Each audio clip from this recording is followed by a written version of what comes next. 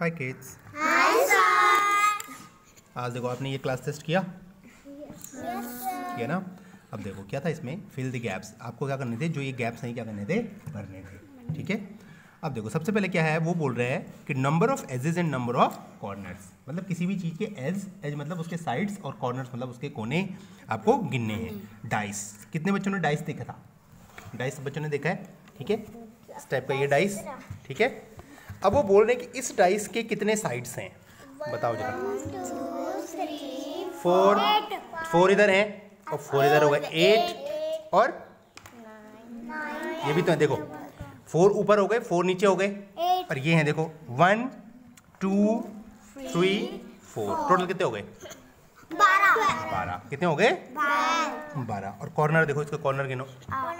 One two three four four ऊपर और four नीचे कितने हो गए?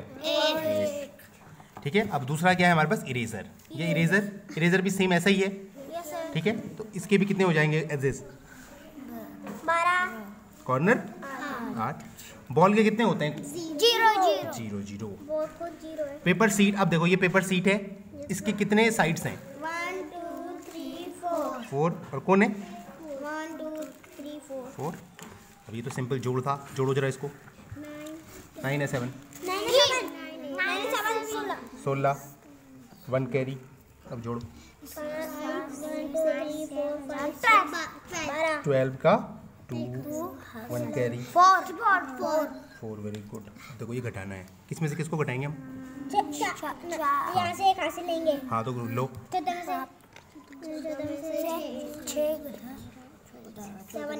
एट यहाँ कितना बचा तीन अब देखो बबली है बबली के पास चार सौ अड़सठ रुपये थे ठीक है? उसने एक सौ तेईस रुपये की किताब खरीदी उसके पास कितने पैसे बचे क्या करना है? घटाना। घटाना। चार सौ अड़सठ में से क्या घटाना है हमने? वन टू थ्री घटाओ। आठ घटाना है ना? फाइव फाइव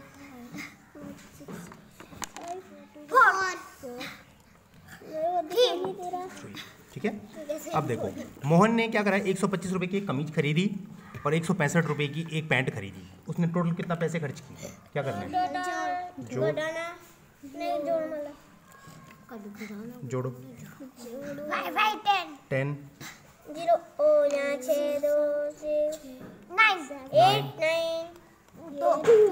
अब देखो यहाँ पर ये एक फिगर दिख रहा है हमको। अब वो बोल रहे हैं इसमें आपको ट्रायंगल्स गिनने हैं ठीक है? कितने ट्रायंगल्स होंगे ये? अब देखो। एक तो ये है। One two three four five six seven eight nine nine तो ये हो गए ठीक है? अब एक देखो एक ही पूरा बड़ा ट्रायंगल है। वन ही बड़ा ट्रायंगल है। अब देखो एक ट्रायंगल ये है ये वाला। ठीक हो गया? ठीक हो गया? एक ये हो गया। कितने हो गए? नाइन टेन इलेवन हो गए। और एक देखो ये है। एक ये वाला ट्रायंगल भी तो है ये पूरा बड़ा।